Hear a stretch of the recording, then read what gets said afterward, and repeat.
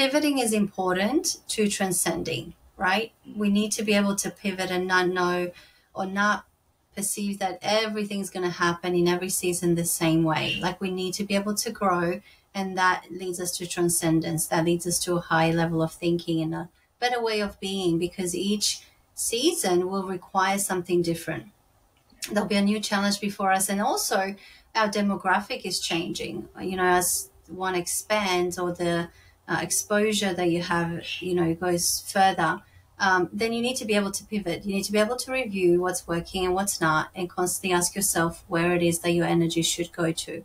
And as you do that, you begin to see that, you know, you become clear or more clear as you go that, you know, you're always going to hold on to the values and beliefs you have. No one's going to take those away from you. Um, but as you share that mission, as you pursue the mission on your heart and the vision that you have, that doesn't change. It's just how you put it out there change. How you communicate to other people changes. How you serve people changes.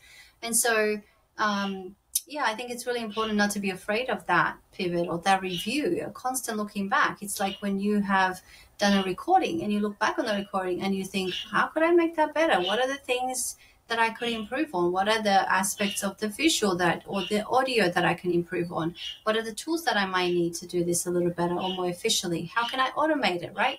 And the whole aim is that you want to make it obviously sustainable, but you want to make it better. You want to be able to serve more people and to be able to speak to more people and to help more people, right? Release more people into their destiny.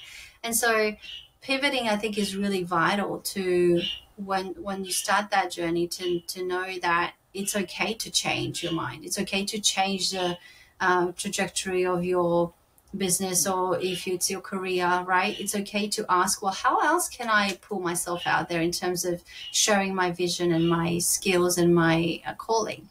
Um, and I think it's important to always review if I've started with this one thing like a podcast, is it working for me? Or, you know, do I need to be writing a book or whatever it is? But just being open to the possibilities that can show up and lead you into evolving not only yourself, but evolving what this calling looks like on your life. And um, it is so tough initially to take that step. It's so tough to take risk after risk and not know if it's going to pay off. And then you have to, you know, we see a lot of the greats that have to deal with disappointment. You have to deal with disappointment.